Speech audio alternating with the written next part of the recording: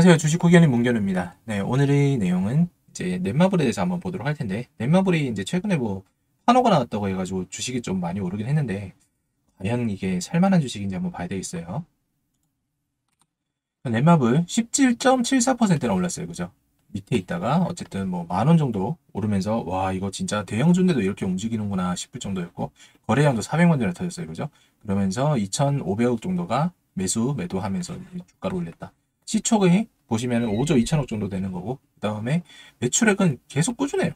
2조, 2조 5천, 2조 5천, 2조 6천 이렇게 되는데 적자 폭이 확 커졌죠. 거의 6천억 정도 됐잖아요. 이 부분이 상당히 부담이 되는 겁니다. 그런데 유보율이 당, 뭐 상당히 크니까 의미가 없지 않느냐라고 얘기했는데 제가 예전에 넷마블에 대해서 한번 말씀드린 적이 있었는데 넷마블은 사실 게임보다는 그 투자를 더 잘하지 않냐. 그래서 야 이거는 완전히 그냥 거의 투자 그룹으로 바꾸는 게 낫지 않을까라고까지 얘기를 했었죠. 왜냐면은 뭐 하이브도 있었고 그죠?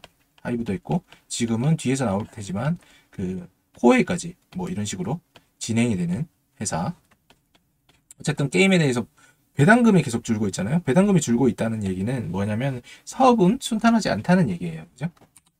상승 배경으로는 중국 정부가 5년 만에 한국 게임에 대한 판호를 발급한 것이 꼽힌다라고 되어 있죠. 그러면서 이렇게 뭐 제2의 제2의 나라, 그 다음에 A3 Still Alive, 그 다음에 Shop Titan 이런 게임이 이제 판호를 발급받았다. 매출액을 한번 보면은 제2의 나라, Cross World 이게 지금 전년도에 대비해가지고 오히려 줄어들고 있어요. 그죠?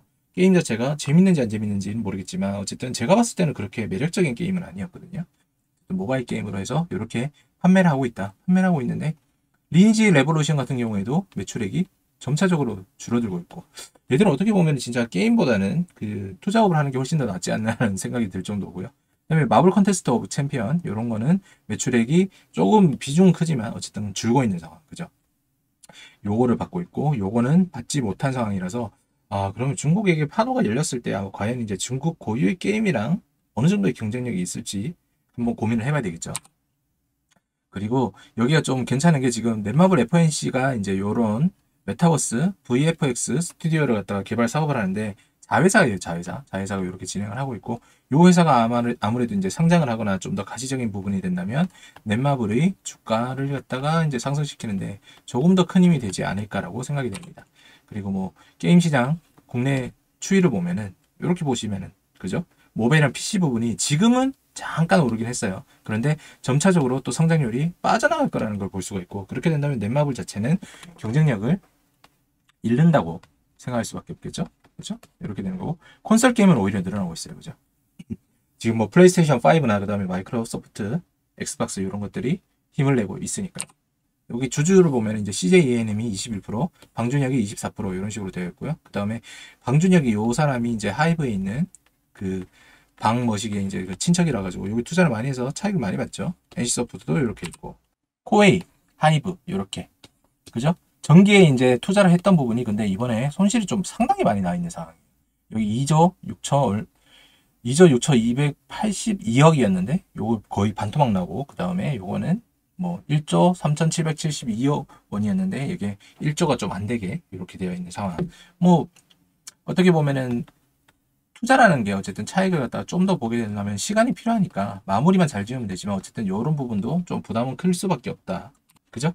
그러니까 어떻게 보면은 조금 이제 게임 쪽으로 좀 더 개발을 해야 되는데 이게 게임 쪽 개발을 하는 게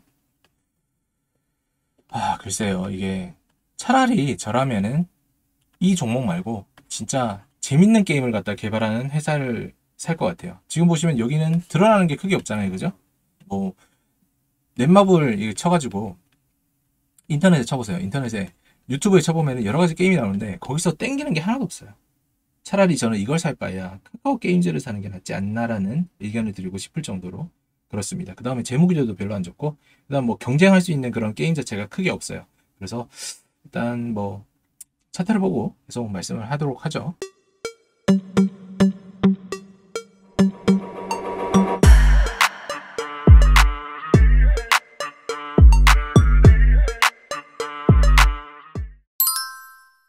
자, 네마블 차트를 보면은 상장가에서 이제 많이 조금 올라갔다가 계속 지속적으로 빠졌어요. 그러다가 이제 그 코로나 시기 유동성 힘을 받고 고로 이렇게 탄력을 받았죠.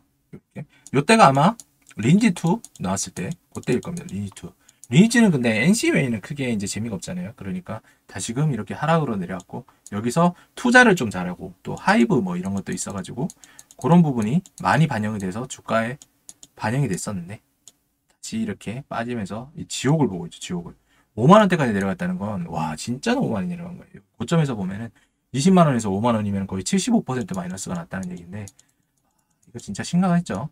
그런데 어쨌든 재무의 재무적인 부분이나 뭐 그런 부분은 막 망가진 건 아니에요. 그렇지만 매출액 자체가 어쨌든 적자 전환했다는 것 자체는 회사로서는 운영하는 게 호재는 아니겠죠. 다음번에 뭐 어떤 메타버스로 인해서 어떤 부분에 대해 바꾼다면 모르겠지만 그러면은 주가가 일단 선반영 됐으니까 쭉 빠지는 거고 메타버스로 인해서 올라갈 수 있는 여력을 하느냐. 근데 이 판호 때문에 이렇게 올라왔다고 하는 거면은 제가 아까도 말씀드렸지만 이거는 지금 경쟁력 자체가 없는 상황이거든요. 중국에서도 게임이 상당히 재밌는 게 많은데 그 게임을 할 거라는 생각은 하지 않아요. 판호를 갖다가 굳이 해줬다 그래서 뭐 던전의 파이터처럼 좀 어떤 의미가 있는 게임이면 모르겠는데 MMORPG라는 장르가 어마어마하게 지금 많죠. 거의 이거 뭐 진단키트로 치면 이제 널려 있는 그런 종목들인데 이 게임이 너무 숫자가 많기 때문에 그리고 중국 자체가 게임을 갖다 규제가 엄청나기 때문에 그게 효율은 없을 거라 생각합니다. 그래서 여기 보시면 올라갔다가 밀렸다는 거 그리고 분명히 월요일 날 갭을 이렇게 메꾸고 나서 다시 한번 이렇게 흔들린 다음에 올라가지 않을까라고 생각이 됩니다. 만약 게임즈를 사고 싶다고 하시면은 이거 말고 다른 거 한번 찾아보세요. 다른 것도 훨씬 좋은 거 맞다고 제가 말씀을 드렸죠. 그래서 그런 것도 한번 찾아보시고 종목에 대해서 고르실 때는 여러 가지 비교 분석이나 방법들이 많은데 거기서 섹터별로 맞는 걸 찾으신 다음에 고르셔야 되는 거 잊지 마시기 바랍니다. 아시겠죠? 어쨌든 오늘 대형주 오랜만에 해봤는데 시간 되는 대로 이제 삼성전자나 이런 것들도 조금 조금씩 하면서 들어가 보도록 하겠습니다. 또 영상 시청해 주셔서 너무 감사드리고요. 자, 구독, 좋아요 한 번씩만 눌러주시면 저에게 큰 힘이 될 것 같습니다. 자, 오프라인 강의도 준비하고 있습니다. 오프라인 강의도 준비하고 있으니까요. 초보자분들이나 뭐 이제 어느 정도 중급 이상 나는 되고 싶다. 그리고 뭔가 여기서 하나만 더 알게 된다면 조금 더 터트릴 수 있는 그런 계좌를 만들고 싶다고 생각하시는 분들은 한번 관심을 가지고 참여 신청해 보시기 바랍니다. 오늘 영상은 여기서 마무리 짓도록 하겠습니다. 감사합니다.